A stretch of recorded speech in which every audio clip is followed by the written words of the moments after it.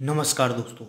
दोस्तों, करीबन सत्तर परसेंट लोग दांतों के पीलेपन से परेशान हैं, क्योंकि दांतों के पीलेपन का हमारे व्यक्तित्व पर बहुत नकारात्मक असर पड़ता है। जैसे कोई व्यक्ति किसी के दांतों को पीला और काला देखता है तो उसके मन में विचार आते हैं कि ज़रूर यह व्यक्ति तम्बाकू स्मोकिंग, ड्रिंकिंग आदि नशीली चीज़ों का सेवन करता होगा। इसके और भी कई पर्सनैलिटी पर बुरे असर पड़ते हैं। इससे बचने के लिए दांतों का पीलापन दूर और दांतों के साफ़ करने का तरीका आज मैं आपको इस वीडियो में बताने जा रहा हूँ, जो कि दोस्तों आपके दांतों के पीलेपन को एकदम से हटा देगा। तो चलिए दोस्तों जानते हैं क्या है नुस्खा सबसे खास बात, अगर आपने हमारे यूट्यूब चैनल को अभी तक सब्सक्राइब नहीं किया है तो उसे भी सब्सक्राइब करें। साथ ही साथ बगल वाले घंटे को बजाना ना भूलें। तो दोस्तों, सबसे पहले इसके लिए हम लेंगे यहाँ पर एक खाली कटोरी। इस खाली कटोरी में दोस्तों हम लेंगे सबसे पहले, ये आप पानी देख रहे हैं, हम थोड़ी सी मात्रा में इसमें पानी लेंगे, जो कि दोस्तों मैंने यहाँ पर दो चम्मच बराबर इसमें पानी लिया हुआ है।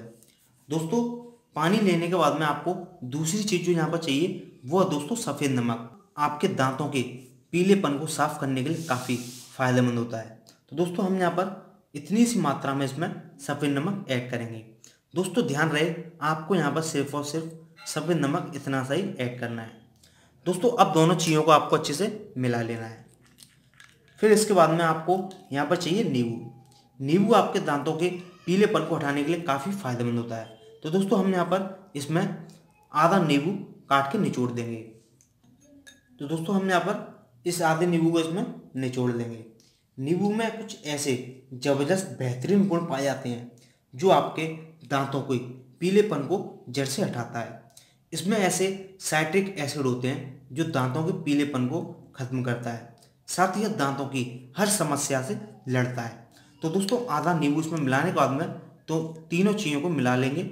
फिर दोस्तों, आपको इसमें लास्ट चीज़ जो चाहिए, वह दोस्तों यहाँ पर बेकिंग पाउडर बेकिंग पाउडर भी आपके दांतों के लिए काफ़ी फ़ायदेमंद होता है।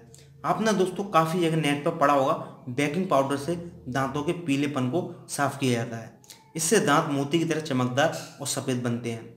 तो दोस्तों हम यहाँ पर इसमें जो है, आधा चम्मच के बराबर इसमें बेकिंग पाउडर ऐड करेंगे, जो कि दोस्तों आपको यहाँ पर सिर्फ़ और सिर्फ़ आधा चम्मच ही बेकिंग पाउडर इसमें ऐड करना है। दोस्तों ध्यान रहे, आपको जितनी मात्रा में यहाँ पर सामान बताया गया है, उतनी मात्रा में आपको सब सारी चीज़ें लेनी है। फिर दोस्तों इन सबको अच्छे से मिला लें। दोस्तों, ये आप देख रहे हैं, ये हमारा पेस्ट कितने अच्छे से झाँक दे रहा है। तो दोस्तों, अभी हमारा पेस्ट अच्छे से बन के रेडी है। दोस्तों, वीडियो को लाइक करना बिल्कुल ना भूलें। साथ ही वीडियो को शेयर ज़रूर करें। तो दोस्तों, अब आपको करना क्या होगा? अब आप जो है, इस पेस्ट को अच्छे से मिलाकर अपना ब्रश लें। जिससे भी आप डेली अपने दांतों को साफ़ करते हैं, वही ब्रश आपको लेना है और इस पेस्ट को इस तरीके से अपने ब्रश के ऊपर ले लेना है। इस तरीके से दोस्तों ब्रश के ऊपर लेकर अपने दांतों के ऊपर से कम से कम तीन मिनट तक रफ करना है। इस तरीके से आप इस पेस्ट को लेते हैं और अपने दांतों को ऊपर से रफ करते हैं। दोस्तों इसे करने से आपके दांत काफ़ी मोती की तरह चमकदार और सफ़ेद दिखने लगेंगे। साथ ही साथ इससे आपके दांतों के जितने भी गंदगी है, वो भी बाहर निकल जाएगी। आपको ये नुस्खा कैसा लगा? आप मुझे नीचे कमेंट बॉक्स में कमेंट करके ज़रूर बताएँ। साथ ही आप वीडियो को लाइक और शेयर करना ना भूलें। चैनल को सब्सक्राइब कर लें। जिससे कि नए नए वीडियो आप तक पहुँचते रहें। मैं आपके लिए फिर लाऊँगा कुछ ऐसा वीडियो तब तक के लिए दोस्तों बाय बाय